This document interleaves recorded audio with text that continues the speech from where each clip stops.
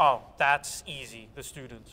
My favorite part of being principal is absolutely the students. I love the staff too. So I should say staff and students. The, the relationships, the connections, those are the things, but it starts with the students. That's why I got into education. I didn't think that I was going to be in a school when I started uh, graduate school. I thought I was going to be um, a counselor, like working with adults. Um, and I did an internship. You know where I did my first internship? You're never going to guess. Another middle school in District 2. I did my first, my, in, my school career started with an internship at Wagner Middle School. Oh. I have to tell you, I absolutely love. That's what made me. That's what I said.